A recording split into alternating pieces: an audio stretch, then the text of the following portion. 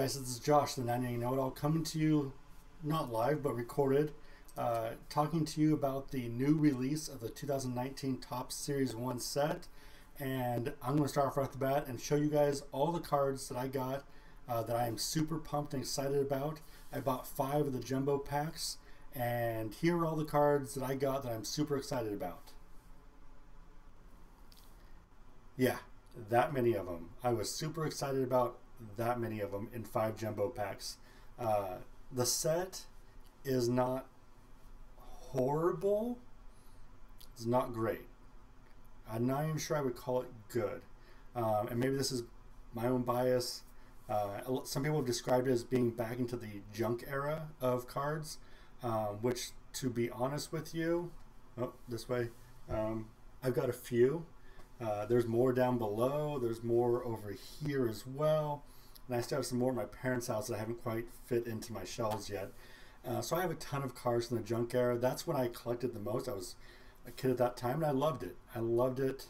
Um, getting all those cards was fun, but at the same time,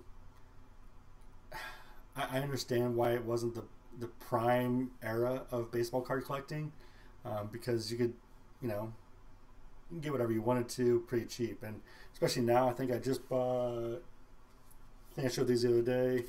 I bought these um, at a card shop in Portland uh, in the fall. Paid five bucks, five bucks for it. Um, also paid. Let's see if I can reach it.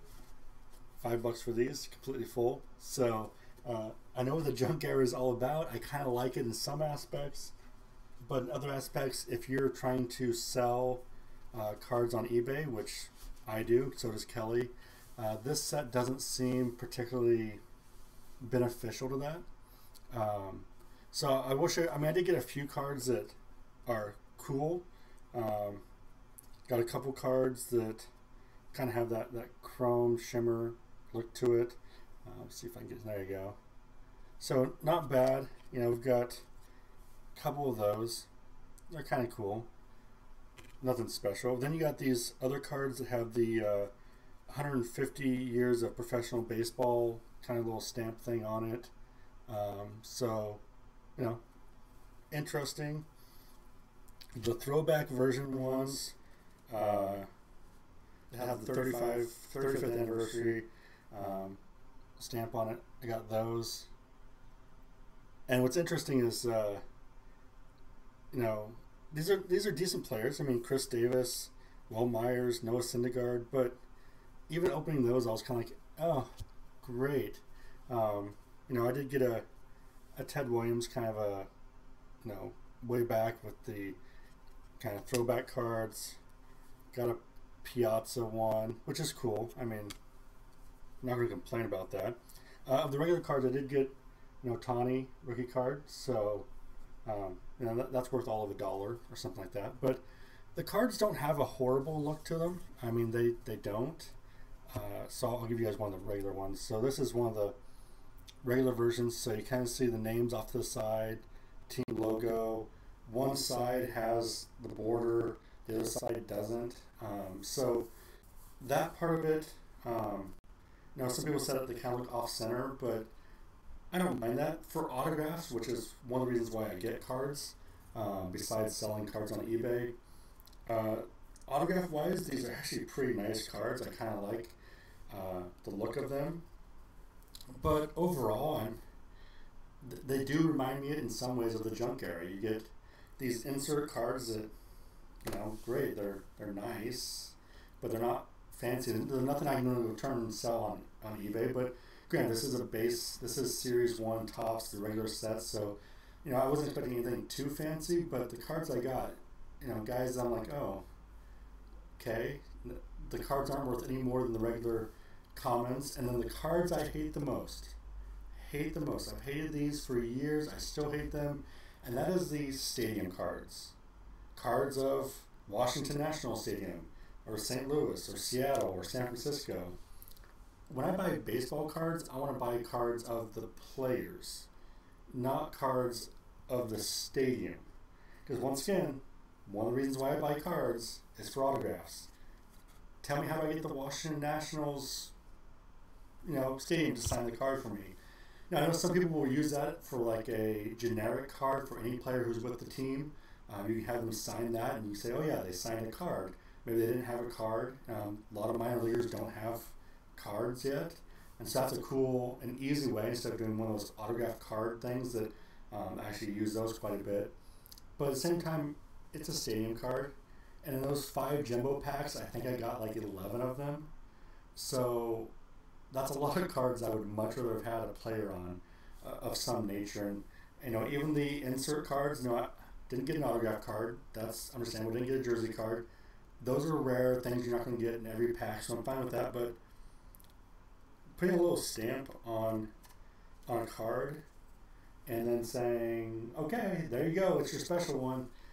That, that doesn't make it special. That just it just doesn't. So overall, not a horrible set. Like I said, the set looks nice. I do like the look of the set. The set has a, a nice color, great pictures. Some of the pictures I saw of the players were really good, really good. I love the, the images, but that doesn't make a set great.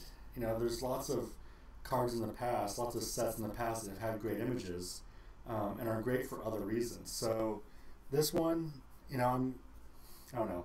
I'll probably go back to buying just more heritage cards, and I like to buy the minor league heritage cards, uh, just because you know I do a lot of stuff with minor leagues and that type of stuff, like the uh, Arizona Fall League. Got minor league baseball here in the Northwest, so I enjoy doing that a lot. But so this set, will I buy more packs? I might. I might.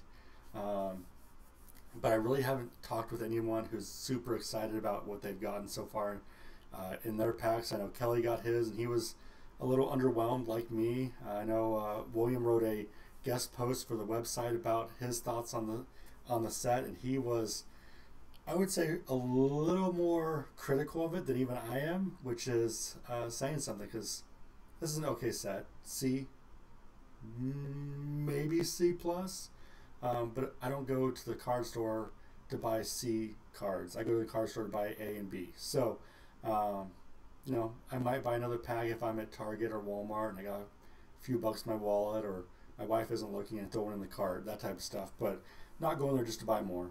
No. So, guys, that's my review of the Topps uh, 2019 Series 1. If you guys want to help support the 9 Inning Know It All website, uh, help us to grow the game of baseball, we have a link in our description for our Patreon account. You can go down there and you can become a supporter of ours each month, whether it's $2 a month, five, ten dollars. Any little bit helps us. Our goal is one to keep the website going. We take a lot of photos of players at games, uh, high school, college, some Woodbat minor league games. Uh, one to promote the players to kind of encourage them, but also for the families. And I've had emails from family members who live across uh, on the East Coast who don't get to watch their son play minor league baseball for the first time, but they get to see my photos. So I love doing that for the families. I love providing that service. Also, we want to sponsor teams and we want to sponsor scholarships for players who can't afford to play. So, you know, I can't do that on my own. I don't make that much money. Really don't make any money with 9 Inning Know It All. Um, all the money that I get for 9 Inning Know It All goes back into uh, baseball or the site.